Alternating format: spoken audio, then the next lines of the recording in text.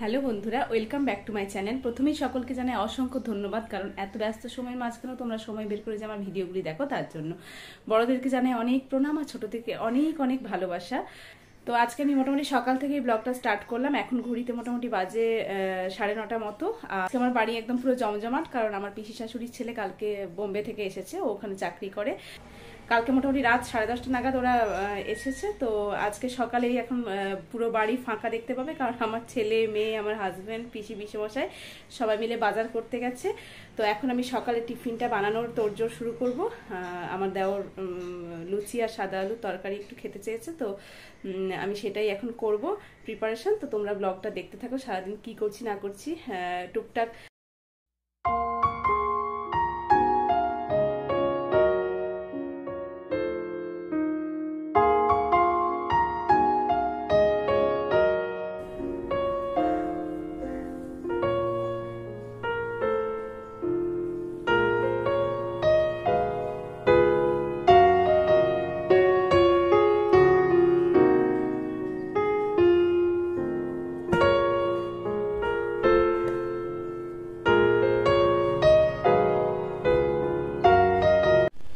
তো এই যে দেখতে পাচ্ছ সোফা কাম বেডটাতে কালকে আমার দেওয়ার শুয়েছিল এখানে। তো সোফাটাকে একদম গুটিয়ে দিয়ে, বেডটাকে গুটিয়ে দিয়ে সোফা করে দিয়েছি মানে সোফা শেপে করে দিয়েছি, তারপরে এই যে সব বিছানাটা গুছিয়ে নিয়েছি ভালো করে। এখানে এখন আমি আলু কাটতে বসে গেছি, সাদা আলু তরকারি করব যেমনটা তোমাদেরকে বললাম। তো আলুটা ঝটপট করে কেটে নিই, কেটে নিয়ে আমি তরকারিটাকে বসিয়ে দেবো।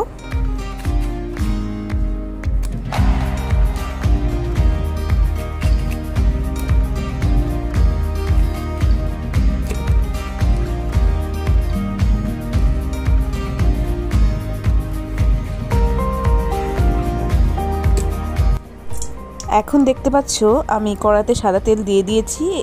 সাদা তেলের ওপরে দিলাম আমি কালো জিরে। কালো জিরে ফোড়ন দিয়ে এরপর দেব দুটো শুকনো লঙ্কা। তারপর নেড়ে চেড়ে নিয়ে আলুগুলোকে দিয়ে দেব। আর তারপরে আমি দেব টমেটো। অনেকে সাদা মানে একেবারেই সাদা খেতে ভালোবাসে। তো আমি একটু টমেটো দেবো কারণ একটু টক টক ভাব হবে তাতে, আর কালারটাও আসবে একটুখানি হালকা লাল লাল। আর নুনও দিয়ে দিলাম। তো এই আর কি, সাদা আলুর তরকারি খুবই ইজি আর সিম্পল কিন্তু খেতে খুব ভালো লাগে।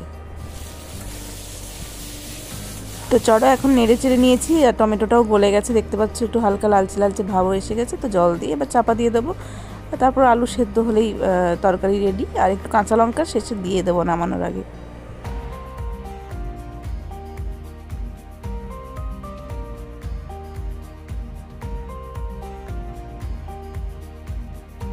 আচ্ছা এখন এখানে দেখতে পাচ্ছ ময়দা নিয়ে নিয়েছি। তো ময়দাতে ময়ান দেওয়া হবে। মিঠু দিয়ে ময়দাটা মেখে দেবে। ততক্ষণে আমি বাচ্চাদের জন্য একটু আলু ভাজাও করব ভাবছি, তো সেটাও কেটে নেব। তো ময়দাতে আমি কীভাবে ময়ান দিই সেটা দেখে নাও। আমরা সবসময় লুচি বা পরোটা যাই কিছুই করি না কেন, এইভাবেই ময়ানটা দিই। বাস, আর দিও না। চিনি দিয়ে দিলাম। অতটা দিও না। লাগবে। কোন ব্যাপার সবাই জানো মোটামুটি। তো মিঠু দি ময়দাটা মেখে নিই আর ময়দাটা মাখা হয়, এই গরম জল করে নিয়ে এরকম হালকা ঈষদ উষ্ণ এরকম গরম জলে ময়দাটা মাখবো।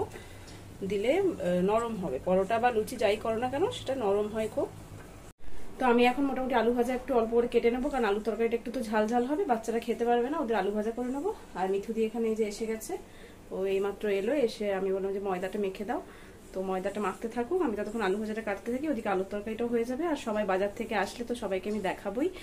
সবাই এখন বাজারে গেছে বাচ্চা কাচ্চা সব নিয়ে তোমাদেরকে বললামই আগে। চল। আমি একা এসেছি আজকে। কোথায়? বাকিরা কোথায়? না হাত পাটা ধুয়ে নাও আগে। খেয়েছিলে? জল খেয়েছিলে? হ্যাঁ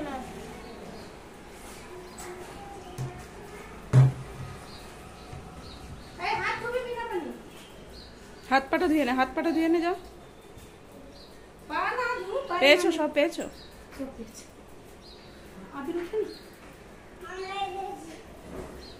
এই মাছের তেলটা হ্যাঁ না করলে আলাদা করে রেখে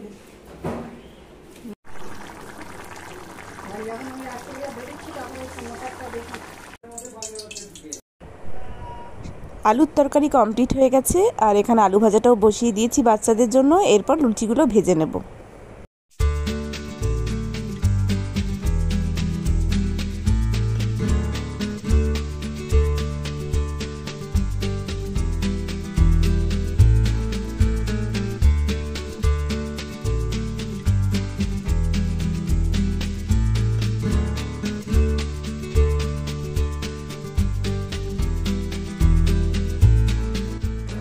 সবাই বাজার করে ফিরে এসছে। তো এখন টিফিন করার পালা দেখতেই পাচ্ছ। আমার ছেলে, মেয়ে, পিসি, পিসেমশাই সবাই মোটামুটি বসে পড়েছে টিফিন করতে। এদিকে আমার হাজব্যান্ডও আছে। তো ওরা মিষ্টি মিষ্টি সব এনেছে বাজার থেকে। তো এখন ওরা খাওয়া দাওয়াটা করে নিচ্ছে। কি কি বাজার করে নিয়ে এসছে সেটা তো তোমাদেরকে দেখানো হয়নি। তো মাটন আছে এখানে।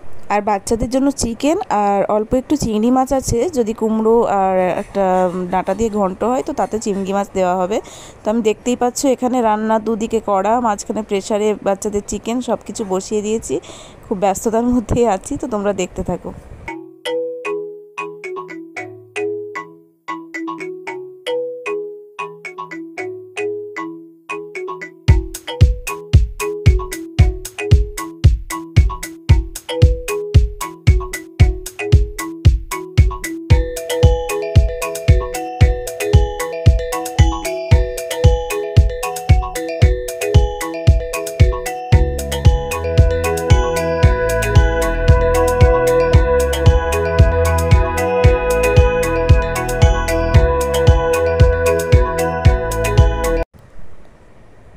এইখানে দেখতে পাচ্ছ, মাটনটা কষতে বসিয়ে দিয়েছি। মোটামুটি অনেকটা কষা হয়েও এসেছে। তো অনেকটা মাটন ছিল, এই জন্য আমি একটু টেনশনে পড়ে গেছিলাম যে আর বাকি কি কি রান্না হয়েছে সেগুলোও তোমাদেরকে দেখিয়ে দিচ্ছি। এখানে লাল শাক ভাজাটা হয়ে গেছে, বাচ্চাদের চিকেনের ঝোল হয়ে গেছে, আর এটা হচ্ছে তেল চচ্চড়ি মাছের তো দেখতেই পাচ্ছ, এখন একটু ব্যস্তই আছি, কারণ রান্নাবান্না অনেকটা ছিল তো, আর এতগুলো মানুষ আমরা ধরো খাওয়া দাওয়া করব, টাইমেরও একটা ব্যাপার আছে, তো এই জন্য রান্নাতে কনসেন্ট্রেশনটা ছিল বলে এই জন্য ভিডিওতে আর আমি কথা বলতে সেরকম পারিনি। আর মা এখন এসে মোটামুটি আমি মাংসটা বসিয়েছিলাম, মাংসটা মোটামুটি আমি করেছি। আর মা বাকি আমি শাক ভাজাটা মাংসটা করেছি, তারপরে মা এসে মোটামুটি খুন্তি ধরে নিয়েছে আবার। আর মা এখন চচ্চড়ি করল, তারপরে তোমার কুমড়োর পুঁই শাক একটা ঘন্ট, না, কুমড়ো আর ডাঁটার একটা ঘন্ট করল। মানে করছে এখন, চাটনি হবে, এসব করছে মা। আর আমি বাচ্চাদের চিকেনটা আর এই মাটনটা আর শাক ভাজাটা আমি করে রেখে দিয়েছিলাম। কারণ মা আস্তে আস্তে কিছুটা ইয়ে রাখলে কি হবে আমি মানে টাইমের ব্যাপার আছে। কারণ আমার কারণ বাবা টাইমে খায় তো, আর তাছাড়া আমার দেওর ওরও টাইমে খেয়ে ওর পড়াশোনার ব্যাপার আছে তো, ওই জন্য ওদের টাইমে পাঠাতে হবে শ্বশুরবাড়িতে খাবার। তো সেই জন্যই এখন রান্নাবান্না হচ্ছে, তো যাই হোক, এখন দেখতেই পাচ্ছ বিধ্বস্ত লাগছে। এখন আমি স্নান টান করব, স্নান টান করে পুজো টুজো করব। রান্না আমাদের প্রায় কমপ্লিট তো এই আমি দেখতে পাচ্ছি এখন স্নান টান আমার হয়ে গেছে, আর পুজোও কমপ্লিট হয়ে গেছে। এই মাত্র আমি পুজো কমপ্লিট করলাম। তো এরপর মা দিতে গেছে খাবার আমার শ্বশুরবাড়িতে। এখান থেকে হাঁটা পথ, বেশি দূর না সাত আট মিনিটের রাস্তা। তো বাবা আর আমার দেওর, ওরা খাবে, তা ওদেরকে খাবারটা দিয়ে আসলে, মা ফিরে আসলে, তারপর হয়তো আমাদের খাওয়া দাওয়া হবে, শুরু হবে।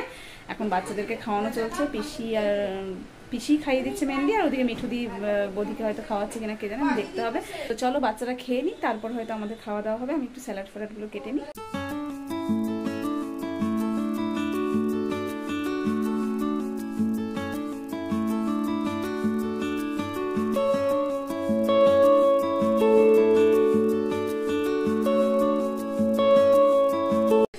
খাওয়া দাওয়ার পরে একটুখানি শুয়ে গেছিলাম ঘুমাইনি, একটু জাস্ট রেস্ট নিলাম। এবার একটু সন্ধে হয়ে গেছে, বাইরে দেখতেই পাচ্ছি জানলার বাইরে অন্ধকার। তো আমি ওই জন্য একটু সন্ধ্যাটা দেখিয়ে নিই সন্ধ্যাটা বসিয়ে নেব। রাত্রে তো রুটি করলেই হয়ে যাবে, কারণ তরকারি টরকারি সব তো আছে।